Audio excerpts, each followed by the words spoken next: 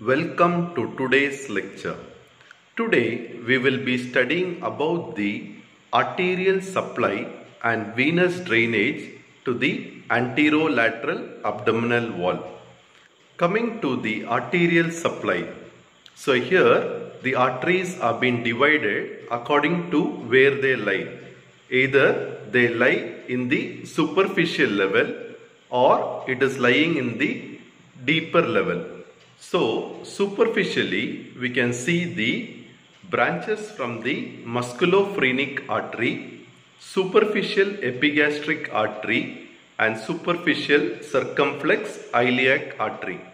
Then in the deeper level we can see the superior epigastric artery, inferior epigastric artery, then 10th and 11th intercostal artery, subcostal artery and deep circumflex iliac artery. Now coming to the arteries which are present superficially, the superior part of the anterolateral abdominal wall is supplied by branches from the musculophrenic artery. The musculophrenic artery is a lateral terminal branch of internal thoracic artery. So here you are having the internal thoracic artery which is dividing into a lateral branch called the musculophrenic artery and the medial branch called the superior epigastric artery. Then the inferior part of the wall is supplied medially by the superficial epigastric artery and laterally by the superficial circumflex iliac artery. Some authors also consider the superficial external pudendal artery which passes in front of the spermatic cord to supply the scrotum and penis in males whereas the labia majora in females. So all these arteries what you are seeing that is the superficial circumflex iliac, superficial epigastric artery as well as the superficial external pudendal.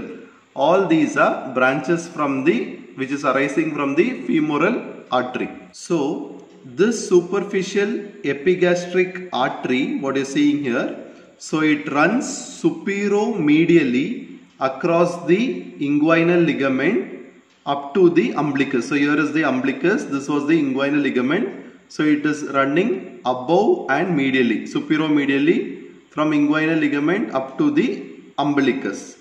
Then the superficial circumflex iliac artery what you are having here.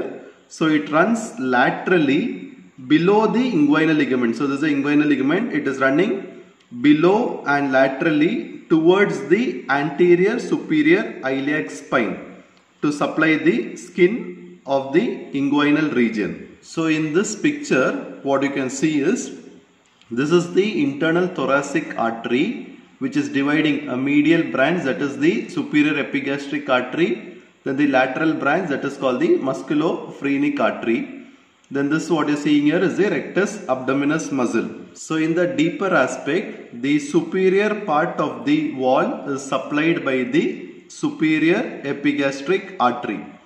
So it is the medial terminal branch of internal thoracic artery. So this artery lies deep to the rectus abdominis muscle resting on the posterior wall of the rectus sheath. So this artery anastomoses with the inferior epigastric artery at the level of umbilicus. So the superior epigastric artery will anastomose with the inferior epigastric artery at the level of umbilicus. Now coming to the inferior epigastric artery what you see in here. So the inferior part of the wall is supplied medially by the inferior epigastric artery. So it is a branch from external iliac artery. So it pierces the fascia transversalis to enter the rectus sheath which later ends by anastomosing with the superior epigastric artery.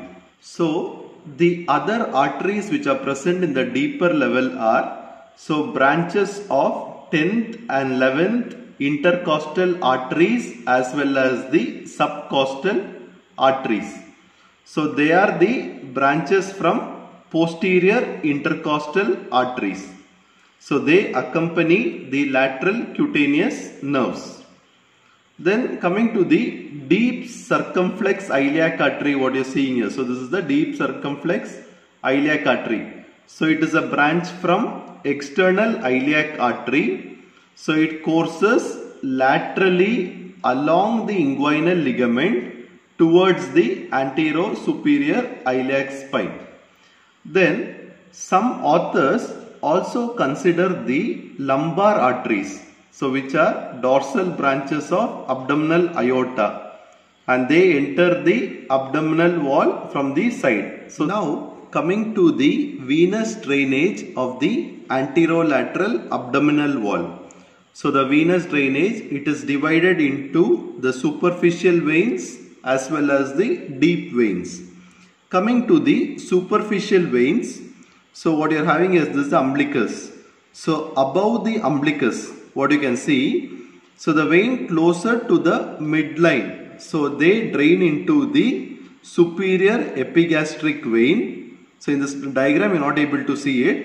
So the veins on the lateral side, they drain into the lateral thoracic vein. So this is the lateral thoracic vein, which in turn drains into the axillary vein. So from the axillary vein it will drain into the superior vena cava. So coming below the umbilicus, so you can see the vein close to the midline, they drain into the inferior epigastric vein. So in this diagram you cannot see it. So on the lateral side they drain into the superficial epigastric whereas superficial circumflex iliac, superficial external pudendal vein which later drain into the great saphenous vein. So that will drain into the inferior vena cava. So now coming to the deep veins. So in this picture what you can see, so this is the rectus abdominis muscle. So here you are having the superior epigastric vein. This is the inferior epigastric vein. So the superior epigastric vein, they drain into the internal thoracic vein. The inferior epigastric vein along with deep circumflex iliac vein, they drain into the external iliac vein. So in this picture, what you can see, so these are the intercostal veins. This is the subcostal vein. Then here this is the right ascending lumbar. This is the azygos this is the hemiazygos. So the lower posterior intercostal veins what you are having here. So they empty into the azygos vein in right side as well as hemiazygos vein in the left side. Then the right subcostal vein joins with the right ascending lumbar vein to form the azygos vein. So here the left subcostal vein is joining with the left ascending lumbar vein which drains into the, uh, drains and forms the hemiazygos vein. Coming to the clinical importance. So first one, if the portal vein is obstructed, the para-umbilical vein and the superficial veins around the umbilicus, they become glossally distended and tortuous. So from the umbilicus, it appears in a radiating manner like the spokes of a wheel. So this condition is called as caput medusae. C-A-P-U-T-M-E-D-U-S-A-E. Caput medusae.